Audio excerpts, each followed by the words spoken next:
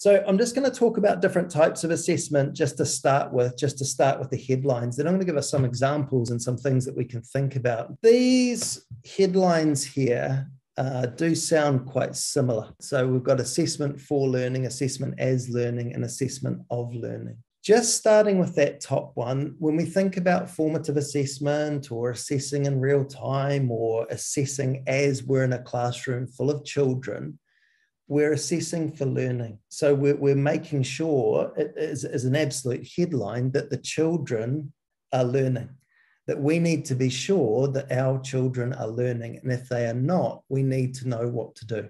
The formative part of it is because we're being informed about what our next step should be as teachers, as practitioners, as support staff, just as adults that are assisting the learning of the children.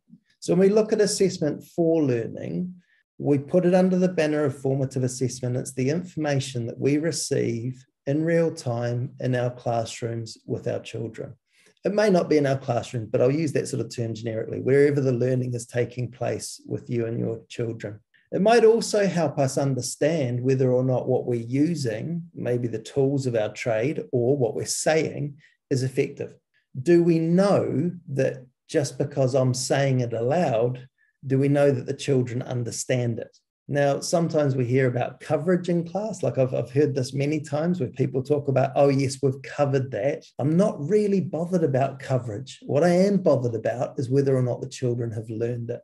And those are the questions that we need to ask in order to find out as to whether or not we're being successful in what we're doing supporting children's learning. That second one, assessment as learning, is a really, really important step in children's understanding and certainly working towards a deep understanding of a new idea or a deepening of an understanding of an existing idea. So it talks about here when pupils actively monitor their own maths learning. What we mean when we're talking about this isn't just a phrase that might be used to a whole class. And I've been guilty of doing this, and I know how inefficient it is, saying something like, okay, do you all get that?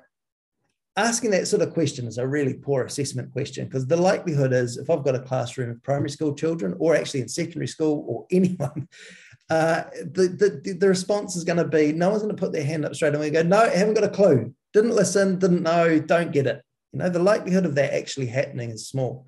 So we're going to look at assessment as learning as something slightly different. The other really crucial part that we need to know is assessment of learning. So summative assessment. And these are the types of assessments that we might do at the end of the term or halfway through the year or at the end of the year or the statutory assessments that may take place wherever you're uh, looking from, wherever you are at the moment. Assessment of learning is a real skill in itself because if it's just a binary, how many people got this right, then that's really unsophisticated.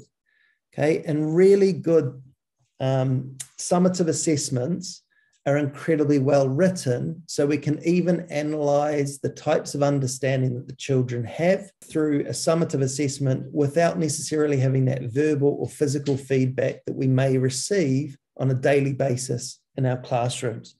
If you enjoyed the video, then why not hit the like button? Also, don't forget to subscribe to the channel if you haven't already done so, to stay up to date with our latest videos. If you want to check out more videos, then click on the right to dive into another topic. Thanks for watching!